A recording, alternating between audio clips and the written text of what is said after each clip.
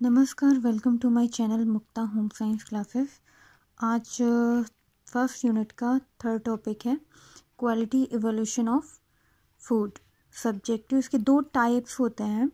आ, दो तरह से हम इसका इवेल्यूट कर सकते हैं मूल्यांकन कर सकते हैं फ़ूड की क्वालिटी कि इसकी गुणवत्ता का मूल्यांकन दो तरीके से कर सकते हैं।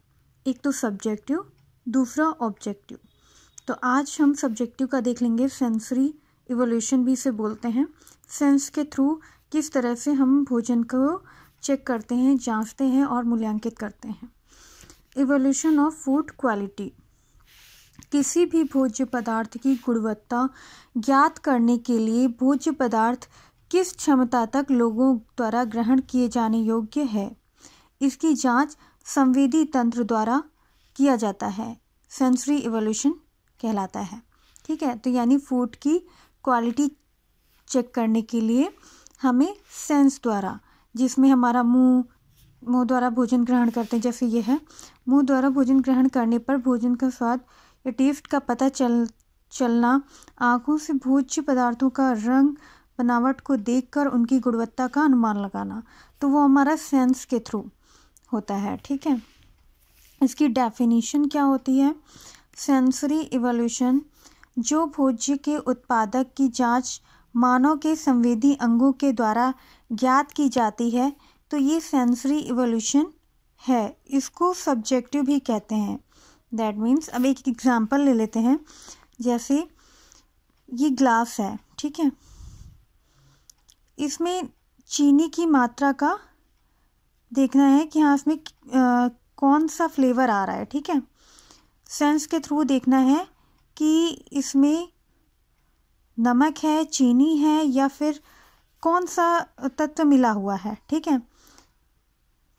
ये ग्लास में पानी है और एक घोल है, जिसमें कुछ मात्रा में, बिल्कुल नाम मात्र की मात्रा में चीनी का पड़ा हुआ है, नमक का पड़ा हुआ है। ये सब इसमें चेक करना है। जब चेक करेंगे, तब ज्ञात करेंगे कि हाँ इसमें क्या है और कितनी मात्रा में है। तो ये मानव द्वारा ही जाँच, जांचा जाएगा। इसके लिए अब एक पैनल बना दिया गया है जिसमें मेंबर होते हैं कि हाँ ये इसको जाँच करने के लिए भोज्य की गुणवत्ता में उसको उसको मूल्यांकित करने के लिए। फिर सेंसरी इवोल्यूशन में ये जो डेफिनेशन दी है, जो भोज्य के उत्पाद की जाँच, जो भी भोजन के प्रोडक्ट की जाँच मानव के संवेदी अंगों के द्वारा, संवेदी अंग कौन से हो जाते हैं? मुँह आँख, ठीक है, देख कर भी हम उसको जो है चेक कर सकते हैं। कि हाँ क्या हो सकता है? कलर देख कर के कि हाँ क्या है? रख कर के टेस्ट से भी पता चल सकता है, बनावट भी देख कर के। तो इससे हम सेंस के थ्रू पता लगा सकते हैं कि हाँ ये सेंसरी इवोल्यूशन है, यानी सब्जेक्टिव के थ्रू ठीक है? तो जो भोज्य के उत्पादक की जाँच मानव के संवेदी अंगों के द्वारा ज्ञात की जाती है तो ये सेंसरी इवोल्यूशन है। इसको सब्जेक्टिव भी कहते हैं। प्रत्येक समय भोजन को प्रत्येक समय भोजन को ग्रहण कर, करने के बाद यह निष्कर्ष निकाला जाता है कि ये भोज्य पदार्थ कैसा बना है। अब जैसे ये ग्लास में घोल बना हुआ है कोई चीनी का है नमक पड़ा हुआ है किसी में नींबू पड़ा हुआ है तो इसको हम चेक करेंगे तब ये ज्ञात करेंगे कि हाँ ये पदार्थ इसमें कौन सा वो मिला हुआ है। तो ये सब देखेंगे और कुछ प्रोडक्ट ऐसे हैं उसमें ये देखेंगे कि हाँ इसका टेस्ट कैसा है। ये अच्छा है या नहीं, इसका भी पता लगाएँगे। कुछ चीज़ें ऐसी होती हैं, देखने में अच्छी होती हैं तो वो उससे पता लगाया जा सकता है, अनुमान लगाया जा सकता है कि हाँ ये खाने में भी अच्छी होगी। उसी तरह से उस दूसरा भोजन है, भोज्य पदार्थ, जो कि देखने में आकर्षक नहीं है कलर अच्छा नहीं है जैसे जैम है। जैम में जैम का कलर धुंधला है तो उससे ये पता लगाया जा सकता है ये जैम अच्छा नहीं है ये या, या ये ख़राब हो चुका है। तो ये हमारा होता है सेंसरी इवोल्यूशन जो भोज्य के उत्पाद की जाँच मानव के सेंस द्वारा संवेदी अंग द्वारा ज्ञात की जाती है ये सेंसरी इवोल्यूशन है। इसको सब्जेक्टिव भी कहते हैं। प्रत्येक समय भोजन को ग्रहण करने के बाद यह कंक्लूजन निकाला जाता है कि ये भोज्य पदार्थ कैसा है। भोज्य पदार्थ की संवेदी गुणवत्ता जो कि विभिन्न संवेदों द्वारा महसूस की जाती है। इसकी क्वालिटी को देखने के लिए अनेक अनेक जैसे हम देख करके भी टेस्ट करके भी, ठीक है, उसकी सुगंध से भी पता लगा सकते हैं। तो ये, इससे क्या होता है, भोजन के चुनाव और ग्रहण करने में महत्वपूर्ण भूमिका निभाते हैं। अगर ये सब चेक कर लिया कि हाँ देखने में भी ठीक है तो तो उससे जो चुनाव करने में कि हाँ ये मेरे लिए बेस्ट है और उसे हम ग्रहण कर सकते हैं। भोजन को ग्रहण करने से पहले भोजन में उपस्थित टेस्ट भोजन को, की दिखावट एवं माउथ फील तय करते हैं। ठीक है? पहले जब भोजन आता है तो उसको पहले हम देखेंगे कि हाँ ये कैसा है। आकर्षक है देखने में और दूसरा फील करके भी देखेंगे कि हाँ कैसा है, रख करके भी तो हाँ उससे पता लगाया जा सकता है कि हाँ भोजन कैसा है। इसकी गुणवत्ता कैसी है? भोजन की गुणवत्ता का पता संवेदी भागों द्वारा आसानी पूर्वक लगाया जा सकता है। जैसे, भोजन जैसे ही मुँह में पहुँचता है, भोजन की संरचना यानी जो टेक्सचर है, सांद्रता है और उसका टेस्ट का पता लगाया जा सकता है। यदि कोई भोजन देखने में आकर्षक व उसका रंग इत्यादि उचित मात्रा में है तो उसके लिए यह कंक्लूजन निकाला जाता है कि भोजन पदा, भोज्य पदार्थ खाने में भी अच्छा होगा और लोगों द्वारा पसंद किया जाएगा। अगर किसी भोजन की बनावट, रंग इत्यादि उचित नहीं होते हैं तो उसको लोग कम पसंद करते हैं। संवेदी अंगों द्वारा भोज्य पदार्थों की बनावट, रंग, स्वाद, सुगंध इत्यादि की जाँच करके गुणवत्ता का निर्धारण किया जाता है। फिर आता है सेंसरी कैरेक्टरिस्टिक्स ऑफ़ फ़ूड अब इसको किस तरह से हम चेक कर सकते हैं? अपेरेंस देखकर भोज्य पदार्थों द्वारा यह निर्धारित की जाती है कि भोजन दिखने में कैसा है।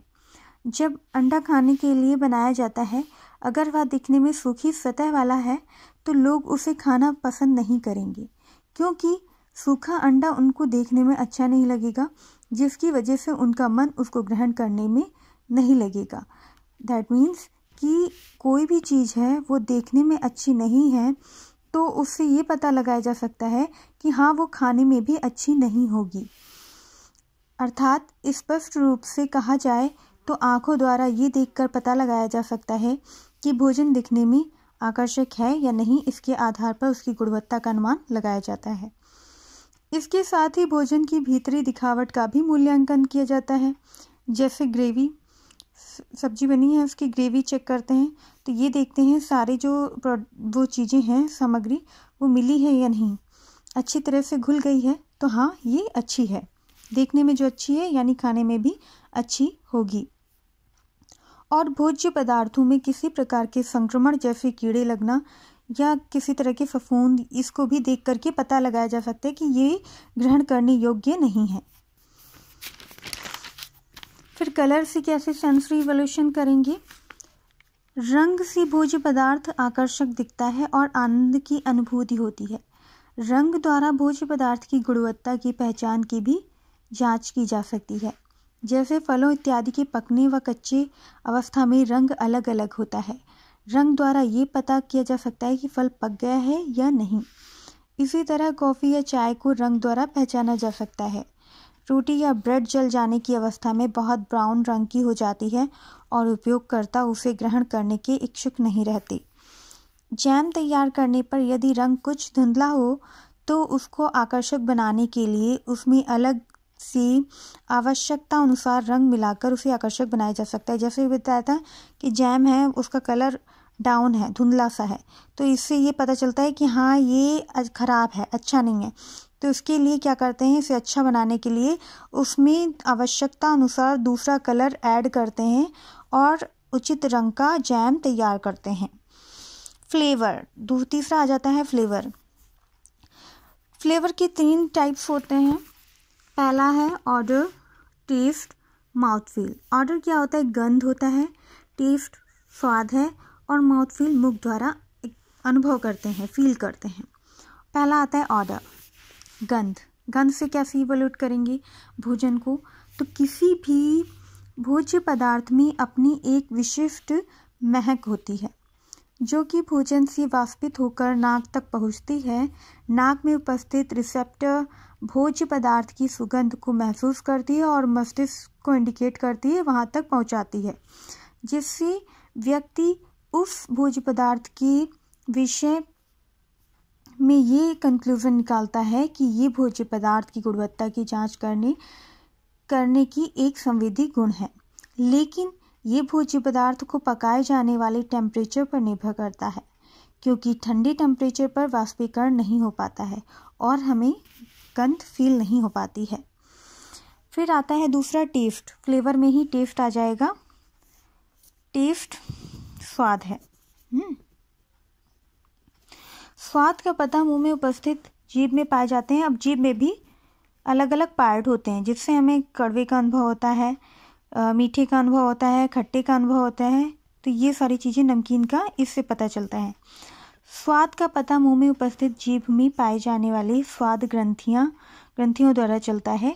जब भोज्य पदार्थ मुख में जाता है, तब स्वाद ग्रंथियों द्वारा व्यक्ति को भोजन का स्वाद मीठा या नमकीन, खट्टा, कड़वे का पता चलता है। जीभ में आगे की तरफ़ नोक पर उपस्थित स्वाद ग्रंथियों में कड़वेपन का पता चलता है। अलग अलग व्यक्तियों में विभिन्न स्वादों के लिए संवेदनशीलता भिन्न भिन्न होती है। ठीक है, सभी में अलग अलग टाइप्स की टेस्ट आते हैं। किसी को कुछ अच्छा लगता है तो किसी को कुछ। माउथ फील भोजन खाने पर, खाना खाने पर वे मुख में कैसा प्रतीत हो रहा है, इसका माउथ से लगाया जाता है। इस विधि से भी भोज्य पदार्थ की गुणवत्ता की जाँच की जाती है कि हाँ आप माउथ फील करते हैं, भोजन को रखा, उससे ये पता चलता है टेक्सचर कैसा है। ठीक है, उसकी सांद्रता कैसी है, मुँह में रखते ही। ठीक है, इस विधि से भी भोज्य पदार्थ की गुणवत्ता की जाँच की जाती है। मुख में जब भोजन आता है तो मुँह में उसका टेक्सचर उसकी सांद्रता और उसका टेम्परेचर का पता चलता है, जिससे उस भोज्य पदार्थ की गुणवत्ता का निर्धारण होता है। और यह निष्कर्ष निकलता है कि भोजन ग्रहण करने योग्य है या नहीं। जैसे, पैकेट से बिस्किट निकालकर मुँह में लेने पर उसका टेक्सचर क्रिस्पी टाइप होता है, वो फील होता है। लेकिन, अगर इसको खुले में छोड़ दिया जाए, उसके बाद उसको खाया जाए तो उसका टेक्सचर मुख में लेने पर मुलायम फील होता है, जिससे यह कंक्लूजन निकलता है कि ख़राब हो गया, बिस्किट ख़राब हो गया या नम हो गया है। इसी प्रकार पदार्थों की सांद्रता का भी माउथ फील से पता लगाया जा सकता है।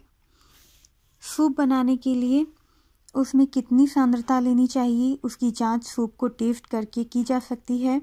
इससे उसके पतलेपन या गाढ़ेपन का भी पता लगाया जा सकता है। फिर हमारा आ जाता है कंडक्टिंग सेंसरी टेस्ट ये नेक्स्ट वीडियो में पढ़ेंगे। अभी के लिए इतना ही। Please subscribe my video like and share it thank you